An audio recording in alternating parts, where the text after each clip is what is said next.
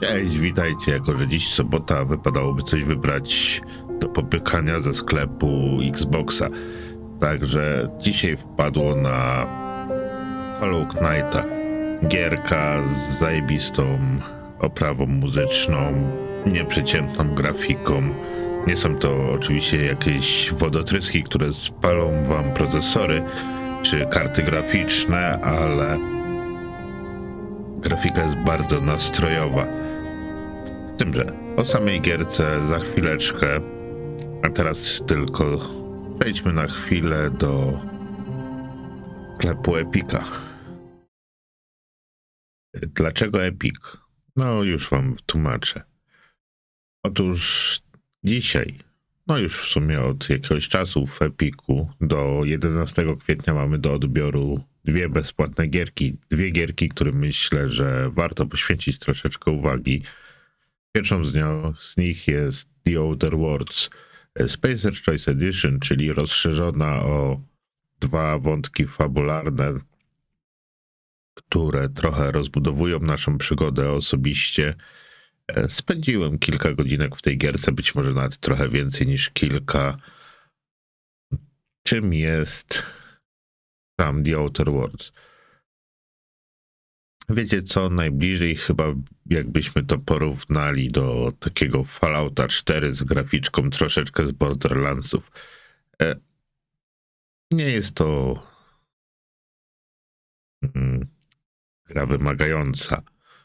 Jest to raczej liniowa przygoda, w której mamy troszeczkę wyboru drogi, aczkolwiek nie nie jest tego zbyt dużo nasze decyzje mają wpływ na, na świat w pewnym stopniu. No, możemy podejmować jakieś krytyczne decyzje, które y, pozwolą wygrać jednej lub drugiej stronie. Ogólnie uważam, że za darmo to dobra cena, więc polecam sprawdzić, ponieważ, tak jak już mówiłem, no mnie ta gierka wciągnęła na kilka ładnych godzinek.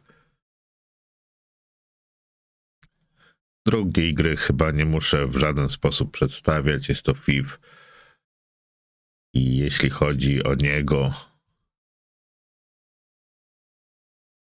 uważam, że warto powrócić do tego świata i jeszcze raz, raz z Garetem dorobić się fortuny. No dobrze, a teraz wróćmy do Hollow Knighta. Także tylko tak na szybko podsumowując, do 11 kwietnia do godziny 17 mamy The Outer Worlds and FIFA. Y, po 17 kwietnia, nie wiem czy będzie to w kolejnym materiale, ale będziemy mieli Ghost Runnera. Bardzo fajna, dynamiczna gierka. Y, grałem troszeczkę w drugą część. Myślę, że bardzo chętnie sobie ogram pierwszą. Sama zabawa jest to bardziej bojowe Mirror's Edge. Zresztą tutaj chyba też tej gry nie muszę przedstawiać. Zrobiła ona troszeczkę szumu, yy, więc jest na co czekać. Dobra, a teraz tak jak mówiłem, wracamy do Hollow Knighta. Czym w ogóle jest Hollow Knight? E, Hollow Knight jest e, dwuwymiarową platformówką w stylu Metroidvanii. E, poruszamy się tam ry rycerzem, nie rycerzem. Nasza główna postać nazywa się Knight, więc nie, nie jest on rycerzem, ma tylko tak na imię.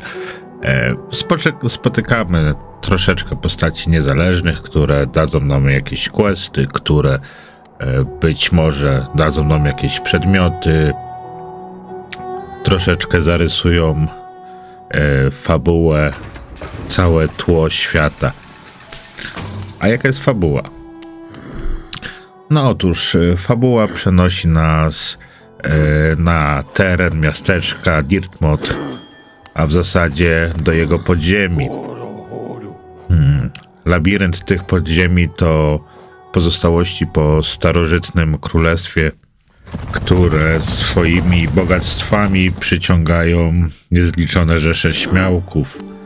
E, niestety, wszyscy ci odkrywcy, wszyscy ci śmiałkowie, śmiałkowie, którzy wejdą do zapomnianych królestw, wejdą do, w korytarze tego labiryntu, przepadają bez wieści, wszelki słuch o nich zanika. No i co? I tutaj do akcji wkraczamy my. Ubrani cali na biało schodzimy do podziemi e, miasta Dirtmouth, Dirtmouth. Nie wiem jak to się dokładnie wymawia. No i cóż takiego nam tu przyjdzie robić? Początkowo nasze umiejętności są bardzo podstawowe, czyli mamy jeden atak mieczem, dwa rodzaje skoku, wyższy, niższy, no nic specjalnego. E, wraz z gameplayem będziemy spotykać coraz trudniejszych przeciwników, coraz silniejszych, coraz bardziej wymagających. Czasem przyjdzie nam się zmierzyć także z mini-bossami, z bossami, którzy będą wymagali od nas poznania ich techniki walki, czy też dobrego refleksu. No, w moim wieku z refleksem już jest kiepsko, dlatego muszę szukać sposobu, jak ich załatwić. Dodatkowo nie sposób tu wspomnieć o dość ciekawej mechanice, ponieważ jak widzicie w lewym górnym rogu e, mamy flakon na duszę.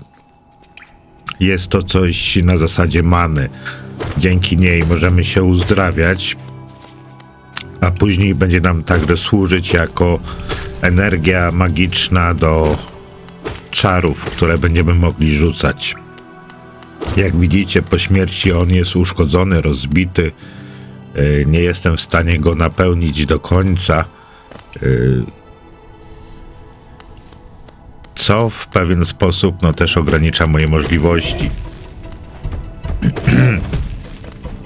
żeby go naprawić, żeby wrócić do pełni sił, musimy odnaleźć lokację, w której zginęliśmy, e, pokonać samego siebie, swoje mroczne wcielenie. No, wtedy wracamy do pełni sił. Co do samych przeciwników, no jest bardzo dużo tutaj przeszkadzajek, jest tutaj e, dosyć duża różnorodność ich. Nie ma czegoś takiego, żebyśmy przez kilka godzin e, tłukli non-stop te, te same robaczki. Tutaj też muszę się troszeczkę usprawiedliwić, ponieważ kiedy nagrywam ten materiał, mam kilkadziesiąt, kilkanaście, kilkadziesiąt minut w tym tytule. I o, właśnie tutaj jest to, o czym mówiłem. E, zginąłem przy tym bosie, teraz muszę pokonać siebie samego, żeby naprawić e, naczynie many. E, więc moje doświadczenia z Gromną zdecydowanie są jeszcze niepełne. Zdecydowanie jest w niej znacznie więcej kontentu niż tylko to, o czym ja mówię.